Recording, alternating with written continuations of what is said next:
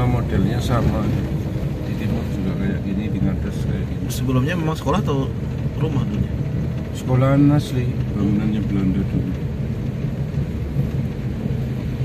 Berarti yang di sini memang udah sekolah sejak lama. sudah SD Impress Oh, main burung. Kita akan menelusuri pemukiman-pemukiman di sini ya, yang ternyata juga sangat padat dan rapat sebagaimana kita di kota. Walaupun ini ada di kaki Gunung Bromo. Oke, kita lihat-lihat.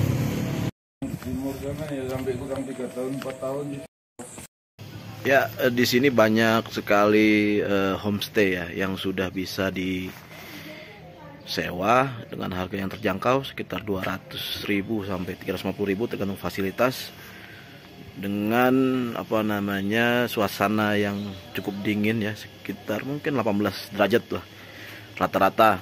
Dan teman-teman kalau punya niatan mau ke Bromo ya di sini kalau dari Pasuruan ya desa yang cukup nyaman lah. Nanti kita telusur satu-satu.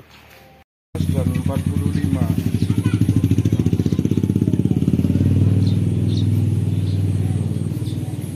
yang homestay 15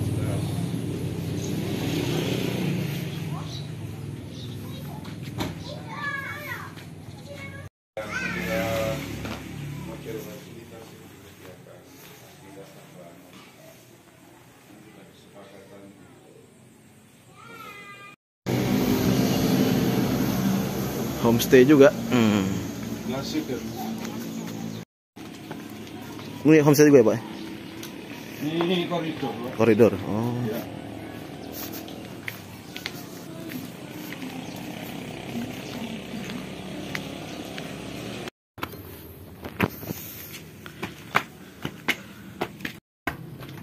Kalau dilewatkan jalan utama kan terlalu nyaman. tapi lebih cepat pak Bukannya paling padat. hmm. Tapi lebih padat ini pak ya Ya. Kalau yang dusun atas kemarin yang itu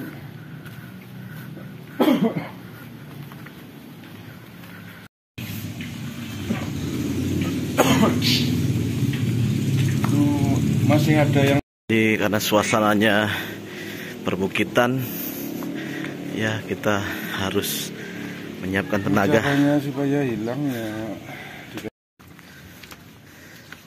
Ngomong ngomong ya. Mana? Ada, ada. sore-sore kabutnya udah mulai Kalau ngambil treknya dari atas turun ini rumah ini pak ya Iya. rumah tua seniman Ini mas semuanya berantakan nih mas. keramiknya ini udah susah dicari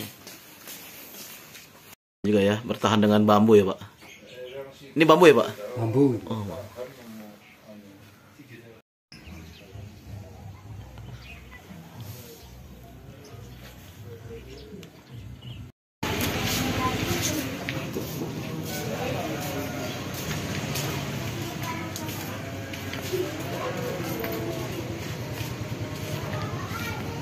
Kecamatan kan berat supir.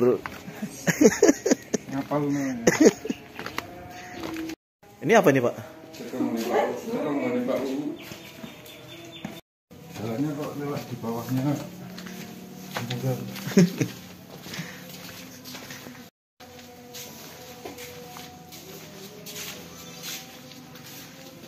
Ada nggak pak warga di sini yang nggak punya lahan